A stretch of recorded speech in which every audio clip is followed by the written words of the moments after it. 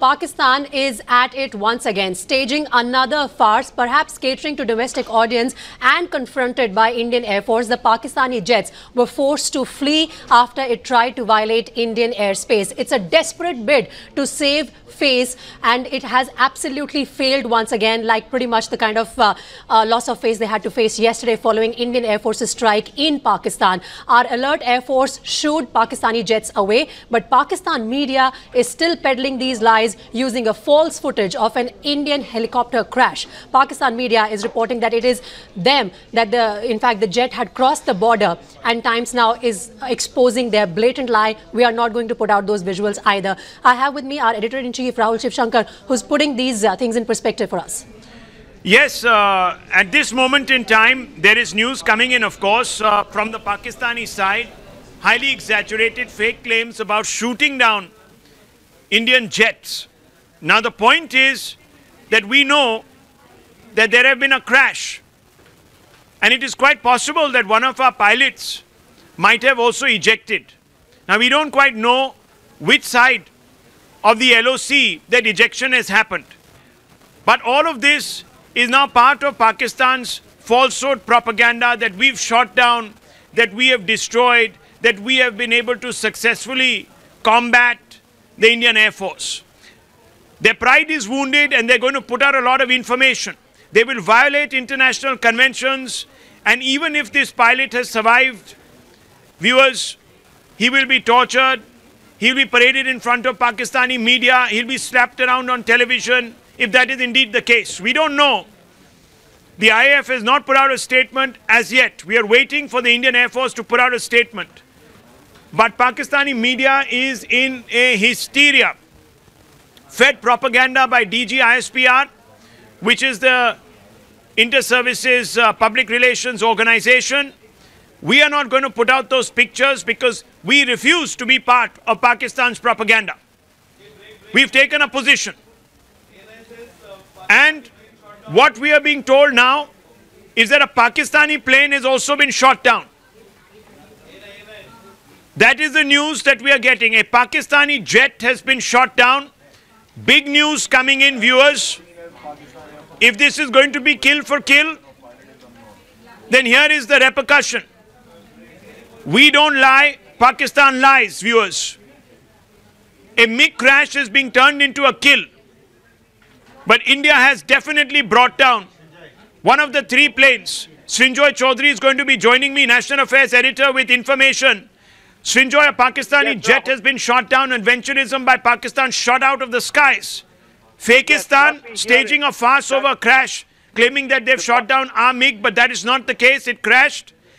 And now, of course, uh, we have knocked out one of theirs from the skies. Two points, Rahul. First of all, it uh, the Pakistani uh, allegation of it being a MiG is not correct because it's a Mi-17 helicopter V5 that has crashed. It has crashed independently without any conflict issues. The second point is that an F-16 has gone down in the Lam Valley within Pakistan in the Lam Valley just a little while ago. F-16 in the Lam Valley. In the Lam Valley. We're going to pull out the Lam Valley. On our maps, uh, Pakistan Air Force F-16 that violated Indian airspace shot down in retaliatory fire three kilometers within Pakistan territory in Lam Valley, Nowshera sector. Breaking news coming in from Srinjoy, National Affairs Editor of Times Now. Srinjoy, give us more details. Yes, what we know is that it was an F-16 fighter. It is of the Pakistan Air Force, uh, which may have intruded into Indian territory, and we know that it has gone down. It has gone down in Pakistan territory in a place called the Lam Valley, L-A-M, the Lam Valley. Uh, it has gone down a little while ago is what we are hearing from our sources. And F-16 having gone down in the Lam Valley is the information that is coming in right now, Rahul.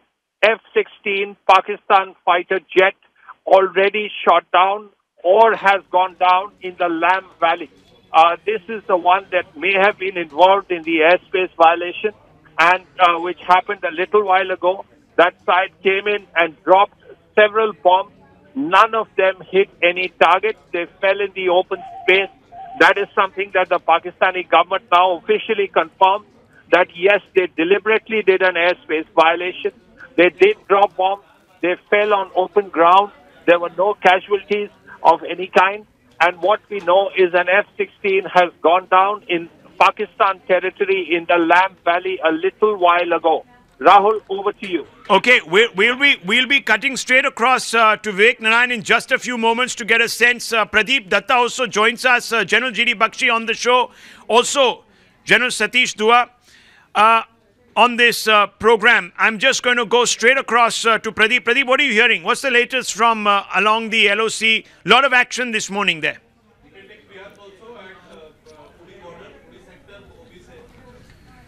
Uh, yes, in fact, uh, there had been a lot of pressure on Pakistan to do something. That is one of the reasons that they are trying to either unleash false propaganda or they are trying to, in fact, make attempt to target Indian location, which they have failed. In from Lam's area, which is in Rajouri sector, they were trying to, in fact, they violated Indian airspace. They tried to come inside to target Indian location, but Indian jets were able to chase some of the planes away, and one plane has already been shot, and that is that plane has fallen on in Pakistani side, and uh, this is in fact a big breaking news already already Srinjoy brought in. But uh, already we have got the exclusive visuals where you can see that Pakistan plane trying to violate Indian space entered inside the Indian territory with an aim to target Indian location because Pakistan government as well as Pakistan army has been humiliated after yesterday's incident. Everybody had been asking them question what your air force and the radar were doing. How come the India was able to penetrate into your airspace and target Jaish-e-Mohammed headquarters? So, so everybody is questioning. So they have to do something. But in haste, they have lost one of their F-16 F-16 fighter jet that has been shot down by Indian Air Force while it was trying to violate airspace in Lam area, which is in Nowshera sector of uh, Rajouri. And this has been one of the known infiltration route. We have seen that during the last one here, this area has seen maximum ceasefire violation. They were trying to target, in fact, India has given a befitting reply. That's why they were trying to target Indian military location or maybe a village they wanted to drop and bomb there, which they didn't succeed. As Srinjoy was rightly saying, in one of the places they dropped a bomb, but it was a deserted open area. That shows they are in a haste just to prove a point that we too can go for retaliatory counteraction. But reality is that Indian troops as well as Air Force are on alert. They are failing to come close even to the Indian territory so that they can target any of these uh, locations. One F-16 jet has already been shot down and already troops are on alert. Commanders on the ground have been sent a very clear-cut message right from the Air Force to the Army commanders that in case of any misadventure or mischief from Pakistan side, give them a befitting reply. Punitive action is something that is required. That is the only way you can teach Pakistan a lesson that fakery and false propaganda is not really going to work. You can't just put out the picture of what really happened in Budgam tomorrow if there is going to a bus accident and Pakistan will claim that they were responsible for that, people are not going to buy those things because in today's well, we are getting more information, uh, uh, Pradeep. I need to add to this parachute seen as uh, Pakistan Air Force's F-16 was going down. Condition of the pilot is unknown as of now. So we might even actually have a Pakistani pilot in uh, our custody or perhaps even on the Pakistani side of the LOC. Uh, more information on that is going to come to us in just a few moments. Uh,